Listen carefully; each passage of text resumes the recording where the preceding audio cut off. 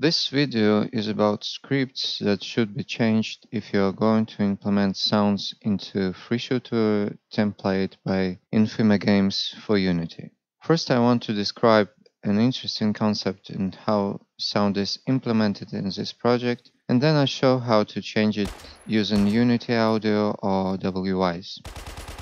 Developers of this project made a special audio manager using a guide you can find by the link below the video. Basically, this is a system where every script in a project has access to a list of unique interfaces, in our case, sound interface.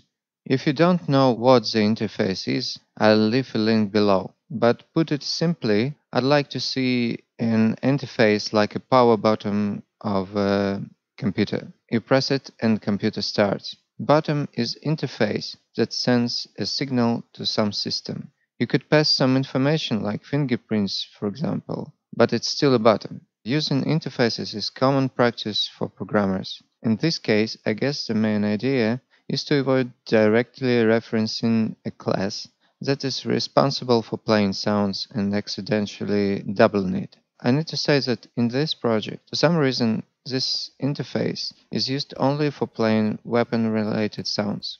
So how it's organized?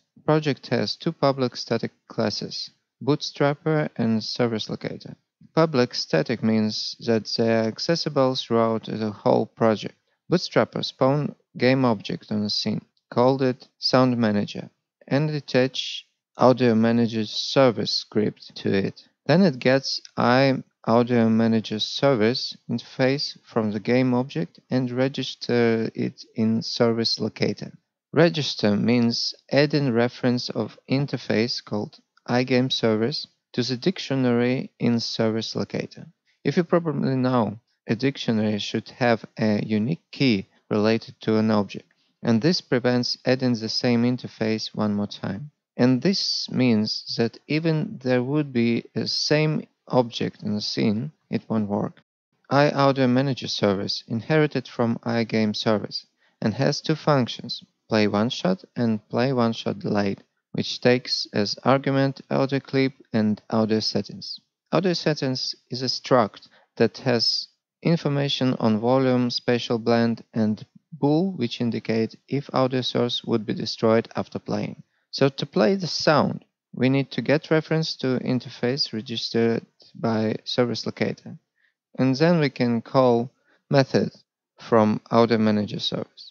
Audio Manager service implements Audio Manager service interface and uh, has all logic to play audio clips. So how a weapon sounds is played. It's a bit tricky. Audio Manager receives a signal to play not from a weapon or input system, but from character animator. Scripts that received this signal derived from state machine behavior and used a method on state enter. The, these are two scripts which attach to an emitter state.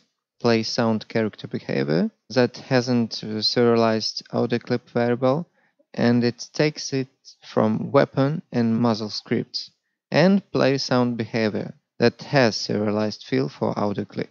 Before I start changing things, there is one more thing. Character, weapon, and muzzle scripts are derived from character behavior, weapon behavior, and muzzle behavior classes, which are abstract. And the problem with this that if you are going to change something in muzzle script, for example, we need to fix all related references and abstract too.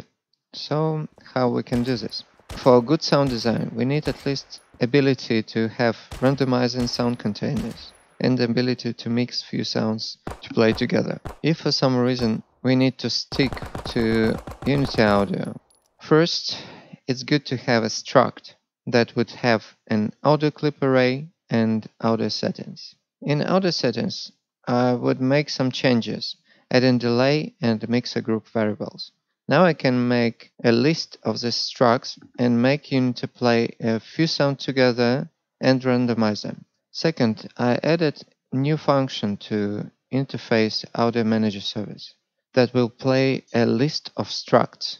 The same thing is made in Audio Manager service. The function sends a random audio clip from a list to play it uh, with settings attached to this clip.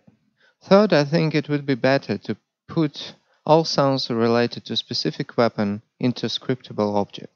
It would be good to have all weapon sounds in one script instead of reading them from different places. So let's make this object. I changed weapons in muzzle scripts and uh, took out all audio clip references and put a reference to a scriptable object. And I changed also return class of functions to list of structs.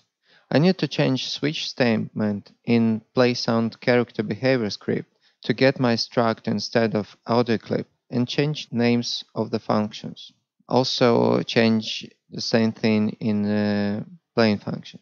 So now I can have a scriptable object of each weapon and only one slot for it in the weapon script.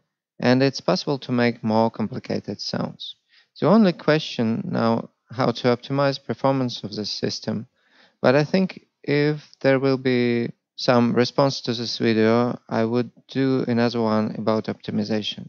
I guess a good example of optimization is in the Creative Kit Unity project and it could be used here as well. Or maybe it's good to use the object pooling system which now included into Unity build. Sure, using middleware give us more possibilities to organize sounds and optimize project in easy way. Let's try make all this stuff in Wwise.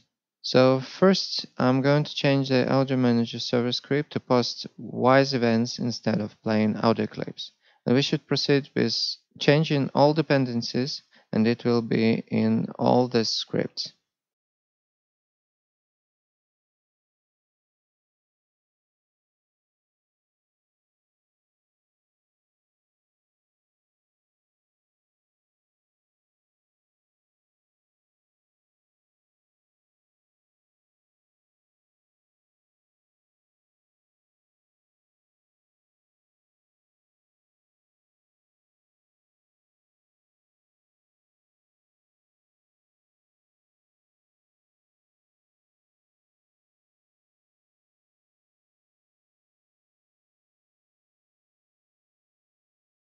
We should make Wwise project and make events like holster, unholster, reload, reload empty, fire and fire empty and make some sound design.